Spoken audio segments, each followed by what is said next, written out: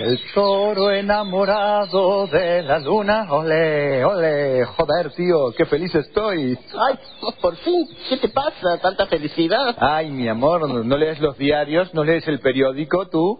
¿Acaso? Sí, pero ¿y qué tiene que ver? ¿Por qué hablas así? ¿No sabes que vamos a gobernar nuevamente?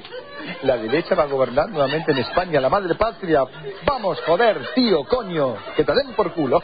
Ay, por favor. Es que estoy practicando el idioma, mi amor, porque hoy, hoy lo encaro a Hernán apenas llegue de trabajar y le digo, Hernán, nos volvemos a España, joder, nos volvemos a España, que ahí todo va a cambiar. Por favor, basta de este horror, de esta chatura, de esta negrura de este país que no sale más adelante, la gente que no sabe votar, que no sabe elegir, que no ve las cosas. Ay, la gente ha votado bárbaro. Sé que el que no le guste, acá tenés, mira, mira, tu valijita. Claro, ¿Te vas? tengo lista. Bueno, Tengo vale. listo Mi, mi, mi, mi equipaje.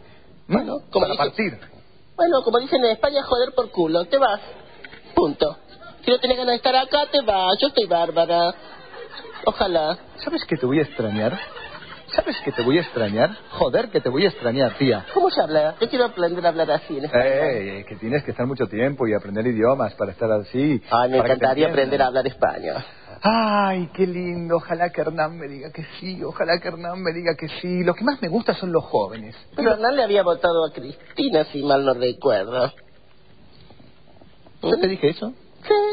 ¿Qué te Yo dije que lo sospechaba, que él nunca Ah. me lo confirmó.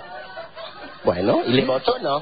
No, no, no, no, no sé, no, no, no, no, no pregunto. Hernán es dueño de hacer sus cosas. Yo estoy segura de, de que no, porque si no me lo dices, ¿por qué no? No, no, no. Igualmente ahora, ahora nos vamos a ir de vuelta a España, a la madre patria. Pero te decía que lo que más me gusta es que los jóvenes, Sí. tanto que me hablaban de los indignados, de esos chicos que estaban ahí protestando, la mayoría de los jóvenes va a votar y votó y, y votará siempre a la derecha España porque es lo que todos queremos.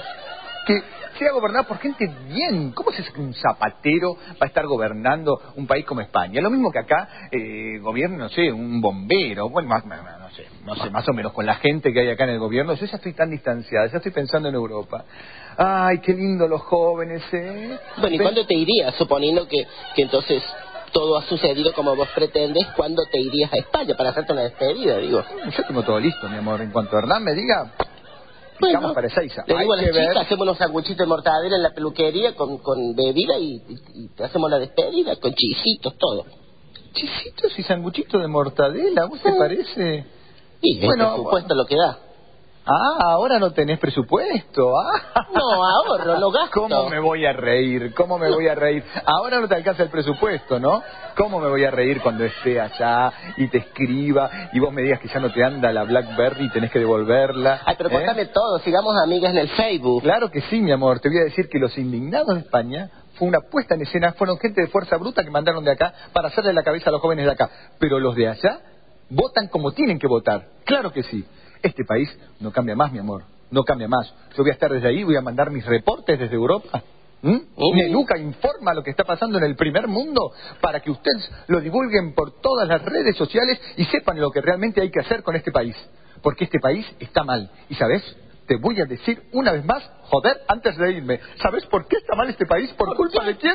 ¡Hombre! ¡De la cegua! Corazón enamorado de la luna.